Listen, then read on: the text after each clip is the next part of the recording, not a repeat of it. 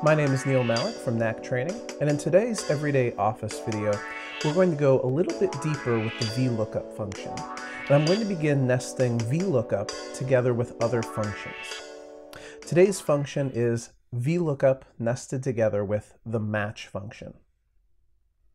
So if you watched Everyday Office number 20, you know that when I use a VLOOKUP function, specifically here in cell B5, I don't like this spot in the function where I have to specifically detail which column of information I'd like to retrieve.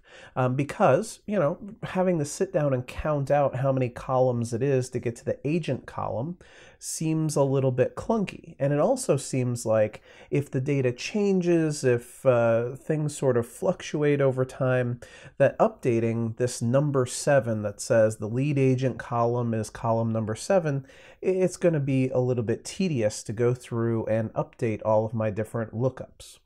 So what I'm going to do here is I'm going to illustrate how using the match function in replacement of the number 7 can make this more flexible. So notice here that in the next cell over, cell C5, I want to find the sale price for this particular property. So again, the property here is RAMG 7428, and I want to go all the way across until I see the sale price column, which is column L over on the end, and I'd like it to retrieve this $2.6 million for me.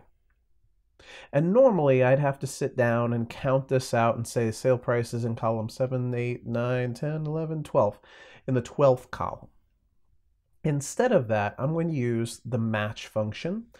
And so here's how this works. Anytime that we want to embed functions, what we're really saying is at some point in a normal function where we'd put in a value, instead we're going to put in a function to calculate that. So we're going to do the exact same thing we did previously. Go to the Formulas tab at the top of the screen. Go to Lookup and Reference drop-down menu and choose VLOOKUP. And so I'm cruising along with my VLOOKUP function, which is my lookup value. My lookup value is in cell A5, RAMG 7428, and my table, where this data is, is starting in cell A7, all the way across to the right, and all the way down to the bottom. A7 through L930. Okay, so we're getting pretty close to a completed VLOOKUP function, and it's here where it asks for column index number where we stop and we say, okay, instead of typing the number 12 in here, in order for this to be flexible, in order for it to just find the information I want, there's got to be a function for that. And it's true, the function you're looking for is a function called match, match. So what we do when we nest the match function into the VLOOKUP function is we type in the word match and we put in the open parentheses. Now at this point, if you knew how to use the match function, you could just continue to type out the rest of the properties for this. But I don't necessarily know off the top of my head all the different parts of the match function. So here's how we use nested functions that we don't know 100%.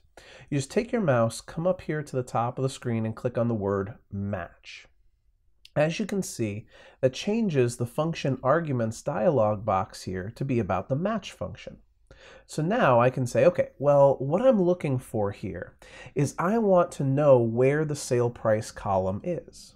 So this first field, this lookup value field, this should be set to the thing I'm looking for. I'm looking for sale price, which I've typed into cell C4.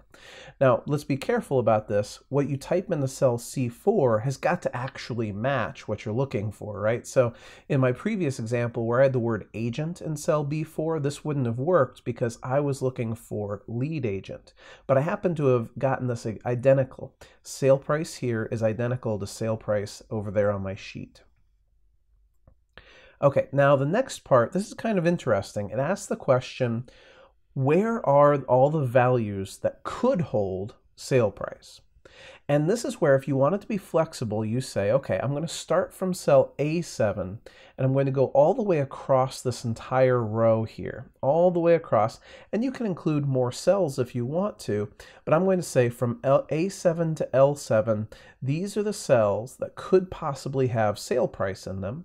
And I happen to see that sale price is in one of them.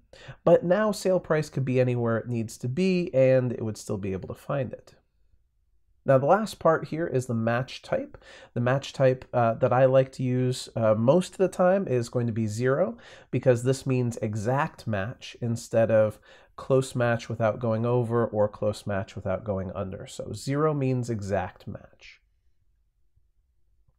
Now to finish this process off, now that the match function has been completed, we take our mouse, click on the word VLOOKUP up here at the top of the screen, and you can see that it actually gives me the number 12, right? So the match for cell C4 in A7 through L7 is 12, which is actually the column number. Perfect. All we have to do is finish this off by putting in range lookup of false, and it will find me that $2.6 million. Click OK, and there it is, $2,620,144.80. And in fact, if we look at RAMG 7428, we can see $2.6 million, same value. Now here's where it gets a little bit interesting. Now earlier in the last episode, I used the drop down menu here and I switched to, let's say, RMEG 5869.